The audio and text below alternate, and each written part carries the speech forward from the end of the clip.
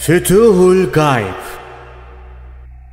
Sultanül Evliya Gavs-ı Azam Abdülkadir Geylani Hazretleri 47. Makale Allah'a yakınlık Rüya gördüm. Bir ihtiyar bana sordu. Kul için Allah'a yakınlık nasıl olur? Cevap olarak bunun ilki ve sonu var dedim. Ve sonra devam ettim. İlki var. Fani, kötü işleri bırakmak.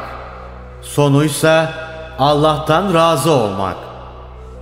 Ona teslim olup candan bağlanmaktır.''